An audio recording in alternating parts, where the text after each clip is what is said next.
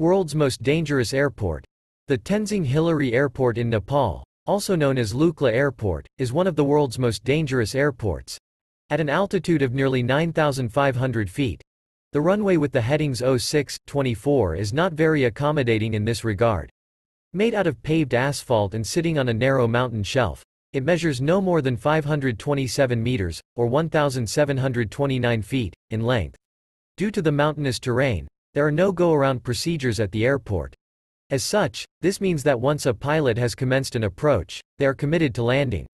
Additionally, there are no radar or navigation systems at the airport, so pilots are fully dependent on what they can see from the cockpit. Because of these conditions, only helicopters and small turboprops such as de Havilland DHC-6 Twin Otters, Pilatus PC-6 Porters, Dornier Do 228s, and L410 turbolets can use the airport. The small mountain village settlement runway saw close to 130,000 passengers in 2019. Most head for trekking expeditions in the Himalayas, with some on their way to attempt the more precarious climb of Everest. About 800 people now climb Everest every year. Have you ever flown into Lukla Airport?